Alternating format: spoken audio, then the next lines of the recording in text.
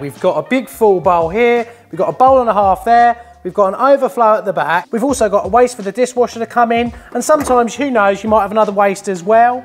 Uh, we've got our inch and a half waste at the back, we haven't clipped that just yet, and that goes into our main stack. So what we've got to do is bring all of these together. And this is where it starts to get a little bit difficult. So the main problem you're gonna have is uh, having all this stuff here to go through. So let's go through it all right now. So we've basically got abject hell in one of these boxes. You can pour them out and look, all that comes out. Brilliant! And you're like, wicked, I've got some like bona fide, fantastic instructions here.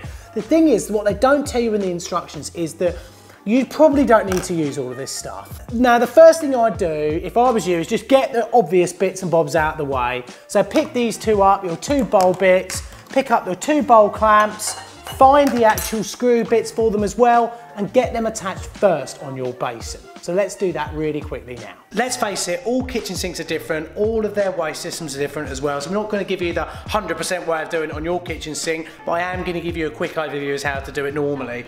So we've got our bit here, we've got our rubber on there just like so, and we're going to pop that in there just like that. Now we've got our outlet piece here that's also got our integral overflow already attached. What we need to do, this is going to be difficult for me to do with one hand guys, because I'm holding up camera. But this is going to slot up under here like so. Uh, we're going to face our outlet, the little threaded outlet to the back because then that lines up exactly where our overflow is. And as you can see hopefully there, we've got a nice little rubber seal on the bottom that when we tighten these up together, so we've got our little, we've got a little screw just there as well with a little slot in it. That pops in our hole, just like that. Then using a big slotted screwdriver from up top, I can marry these up from the bottom. So I've got my screwdriver in there, and then I can just get this on like so and just nip that up. Now I want to get the back facing exactly the way I want to be.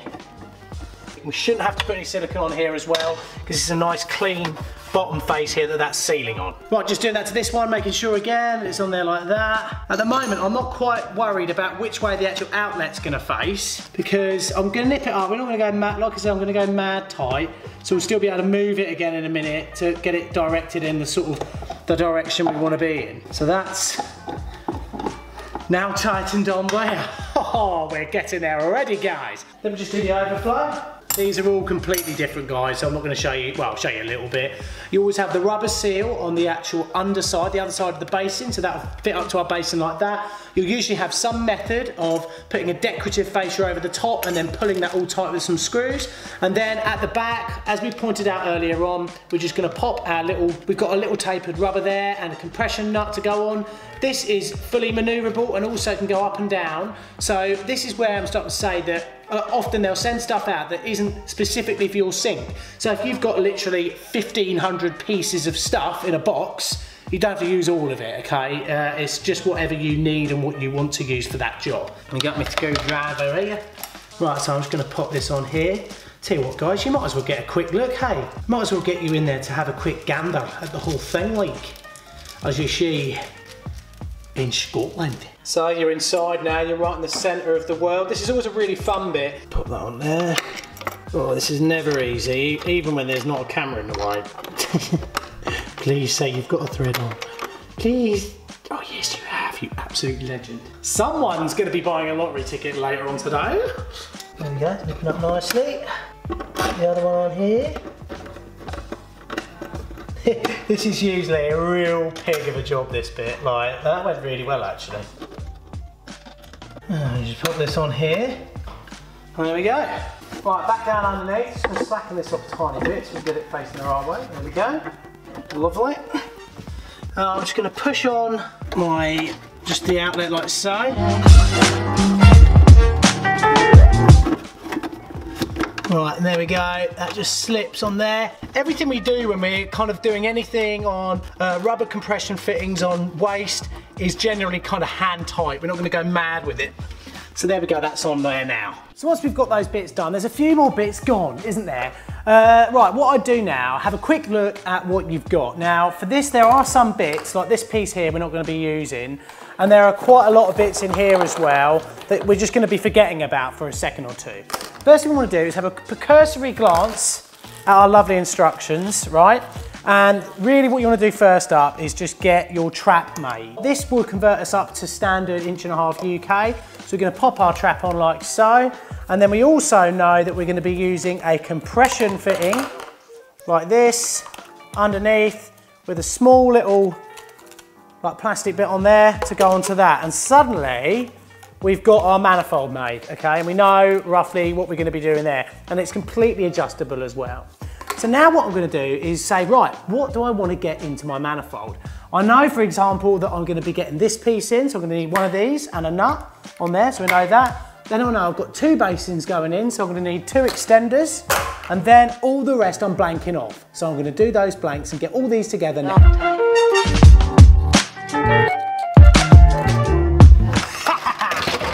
You go.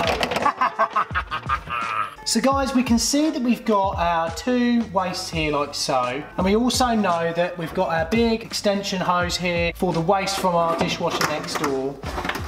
So number one, I know that my, my outlet, my main outlet to this beast over here wants to point somehow that way. Also what I like to do is keep the waste away from the front of the cupboard. I don't want it running over here because I want the customer, I want my customer to be able to use the cupboard when they've gone.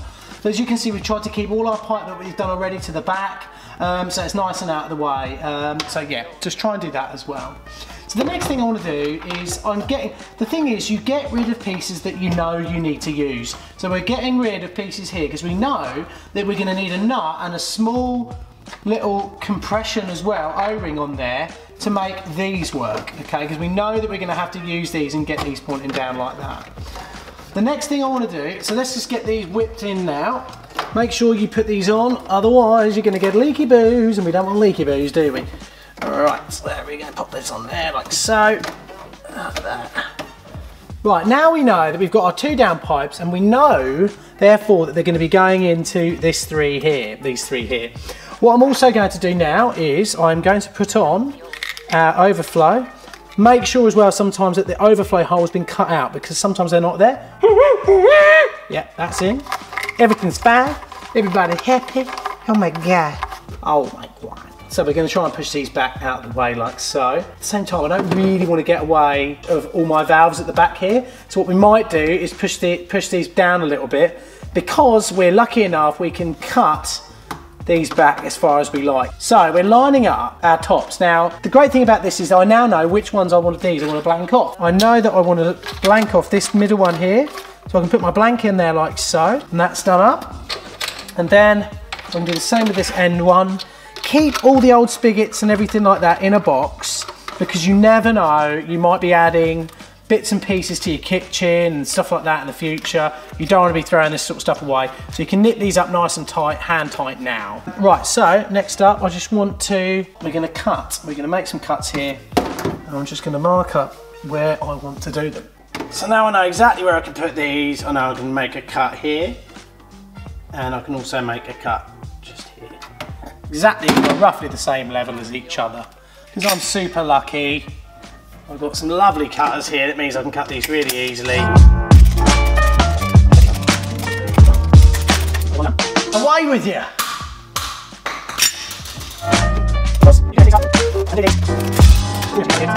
Then we can pop our nut and our sealing ring on there, like so.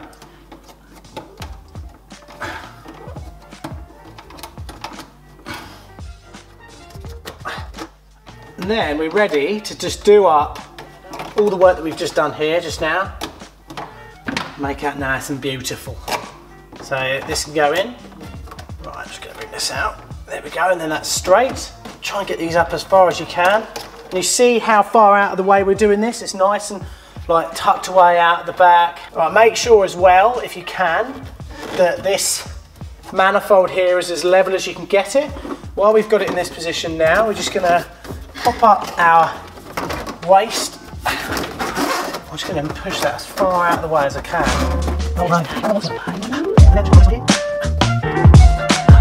Often with the waste you'll get an O-ring or a circlip, something like that, that will hold it all together for you, but we haven't got that one on this particular model today. Right, and now I can point this in exactly the right position where I want it. Now guys, for those of you who don't know, we're gonna use solvent weld on this. We've done videos on how to use solvent weld on our channel, so have a look there for later on. What we're gonna do is I now know, because I've got my my elbow here that we're going to be going down into. Exactly where I need to cut this pipe here. Oh, satisfaction, everybody. Plenty of splodge on that. Right, give it, put it on, give it a twist. That's what I always do anyway, that's my way. Wipe it off with your finger, make it look beautiful. And then I can marry this up to that and know exactly how far I need to cut this. I, for some reason, always take off this piece and the rubber O-ring and then I fit everything together with it fitted round here. It's my way, guys. That's just the way I do things. It's either my way or the highway. So I'm going to put some splodge on there. And as you can see, it's a bit wibbly wobbly at the moment because the first fix we just left this, so we got plenty of wibbly wobbly on it, which is, I think, is a good thing. I like a bit of wibbly wobbly. Um, even though I've got to get a fair bit of this, this mucky boo. Right, so we pop that on there, give that a little twist as usual, my little twisty do. And now we can push this in to where we need it. Oh, there we go. And then we're lucky here, we've got lovely big breeze block walls. Woohoo! Let me get my grill, my drill. And now I'm just gonna clip this at the back because I'm a good boy. Let's pop that up out there, out of the way. And then we'll be able to turn our water on in a sec and test for leaks. There we go. All done. Right then guys, some moment of truth. Get down here and switch these beads on, make sure we got no leaks. Uh, I would recommend as well, just before you turn any taps on, tighten everything up. Make sure all the stuff you've put in is nipped up nicely. So I try and fill both of these up. Look at that. We've got a little lid on there. I mean, these obviously self-explanatory really. Pop them in nice and easy. Let's get this going. Got another one of these. So we've got double little tap on there. Round, y'all. I was going everywhere, mate. Oh dear. Right, that's filling up. Let's just find some blue roll. Here we go. Blue roll, everybody's favourite.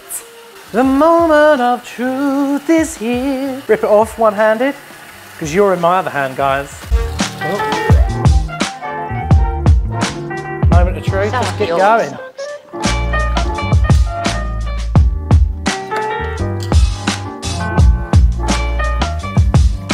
So now we're just going to look at all our joints Make sure we've got no leaks. And also look to see that you've got a nice quick run as well. So that's going down really nice and quick. But that one's finished already. And this one's just about to finish off. One, I hope you're looking, look how much we've got left over. These are handy for us plumbers because they're great for pump valves. We all know why, y'all. So that's going back in the box. But this is just gonna go in here, just in case they want to add more stuff and that just shows you how much stuff is left over when you do a job like this. We've filled up, we've done a couple of flushes, everything's running away absolutely hunky-dory. I'm really, really pleased. Um, and yeah, just really, really happy with the whole job and how it's gone. So remember, do the tops first, then build up your trap, then build up your manifold, figure out what you want to go where, cut everything back to where you want it so it fits nicely into your manifold, and then run your manifold outlet back to the stack, and then you're sorted. It's easy, but when you open up a box like that, it fills a lot of people with terror. And I've got to say, I open it now and I'm like, oh, good God. Especially when you see instructions like that. So, oh, well, well written, lovely. So there we go, guys, all running fine. We've got no leaks whatsoever. I hope you enjoyed this video today. I hope it's given you a better idea about what to do when you've got all those bits laying out in front of you. There's a whole kitchen that needs doing and you know, you're like pulling your hair out going totally mental trying to fix it. So hopefully you've given you an idea about that. I hope you think that the job that we've done is nice and neat as well. I'm really proud of it and I know that, you know, when I come back and see these guys to service their boiler, they're gonna be happy with it again too. Please follow us on Instagram. Doing loads of stories on Instagram at the moment, absolutely loving the story sting. Please also subscribe to our channel on YouTube. We upload every week. We upload plumbing disasters, we upload fun stuff, and we also upload the instructional videos and the tutorials that you've watched now. So you never know, we might be able to help you in the future as well. There's some big things going on in the world of plumberparts, but I don't want to tell you what they are yet because if I do, I might jinx it and it might never happen. So please click on those links that are appearing right now, guys. Again, if you've got any questions, please comment, click that like button below, and I'll try and help you out as well, guys, all right? So have a great week. I hope this has helped you out yet again, and I'll speak to you all very soon. Remember to hold tight.